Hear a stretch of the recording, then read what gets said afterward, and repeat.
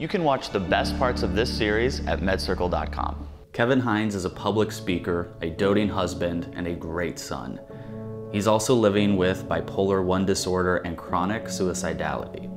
His book, Cracked Not Broken, chronicles what life looked like before his diagnosis, before proper mental health treatment, and how he attempted suicide by jumping off the Golden Gate Bridge. His story is unlike any you've heard. This is the Kevin Hines series. Kevin, do you know why today is so significant? I didn't even think about it right now. Today's the anniversary of the day I attempted to take my life off the Golden Gate Bridge.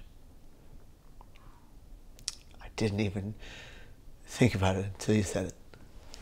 Why do you think you didn't think about it till now? You know, Kyle, for the most part, I have closure, you know? I mean, my dad took me back to the bridge a year later to the date of my anniversary. And we, we stood at the very light rail that I attempted I knew exactly which light rail it is. It was, and I, I, I don't say it aloud because I don't want people to get ideas. But we stood there, and and he had had me uh, on the drive there. He pulls over right in front of the police officers union building, right near Clement and Park Presidio in San Francisco, if you know that area. And all these police were in their full dress blues in the windows. All their cars were lined up in the parking lot and their bikes. And he goes, Kevin, Kevin, pick a flower. And I go, Dad, I'm not picking a flower from the police officers union building in San Francisco to get arrested. He goes, pick a flower, Kevin. Jump out, grab a purple tulip with yellow inside. We go to the bridge. We get to the parking lot. I don't want to get out of the car. I don't want to get out of the car. Dad, I can't do this. I can't do this. Kevin, we need this. You have to do this. We need closure. I said, Dad, you need closure. I need to go home and lay down. He said, No, Kevin, we're doing this. So we, we walk out to the bridge and he says, Show me where and I showed him the exact light rail like it was the day like it happened the day before. We hold the flower over the rail. My father grabs my left hand with his right. We say in Our Father, and he says, "Drop the flower." And I dropped the flower, and it wafted down, and it hit the water and made the tiniest ripple effects. Then two feet to the right, popped up a sea lion. And it was arguably the most beautiful moment I've ever had with my dad, besides him being the best man at my wedding. And the sea lion has a lot of significance that we will get into in yeah. this series.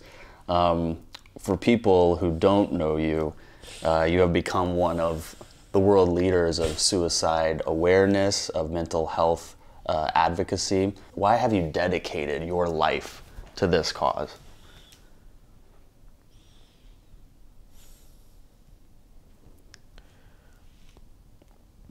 Kyle, I often say in my speeches I've been in pain since the day I was born. Born in squalor in the Tenderloin of San Francisco, in the worst neighborhood then, the worst neighborhood today, in what they called a crack motel. It was a rough life for me in my beginning, and when you have that traumatic infancy, it never leaves you, and it follows you your whole life. And it had a great deal to do with my breakdown at 17 and my development of bipolar disorder, which both my biological parents had before me. And to answer your question, I dedicate my life, sometimes 300, 320 days a year, to this cause because I want to help people who are in that devastating brain pain find the will to stay. Mm. I, I, at least, Kyle, I want to try my hardest to do that, to help people recognize their value, that they are worthy and that suicide is never the solution to their problem. Mm. It is the problem. Mm. Very well said. Well, I'm very excited to get into this series. I've finished reading your book, as most everybody here has, Cracked, Not Broken. Uh, really excellent information in there, but also such a uh, fascinating read. It was in. It was a read that kept me going. Uh, I didn't feel like I was reading a textbook or anything. I felt like I was reading a, a man's story. Um, so it's an honor to meet you and have you here. I think that people are going to watch this and become instant Kevin Hines fans if they're not already. and perhaps even more important, they will walk away with tools and an education that they didn't have before. So uh, we'll be back next week as we go through your book, you and I. I'm very excited. We'll talk about your childhood. We'll talk about the high school and college years, your speaking career. Um, of course, we'll talk about uh, your your trials, your tribulations, and your successes, and we'll talk about that sea lion too. Yeah. I see it on your shirt already. Yeah. His name is Herbert. His name is Herbert. Yeah. And he saved my life. There you go. I love it. Thanks for watching. Your next step is to go to medcircle.com and finish watching this series. There you can also access other series and get actionable advice and simple explanations. Continue your mental health journey at medcircle.com and I'll see you there.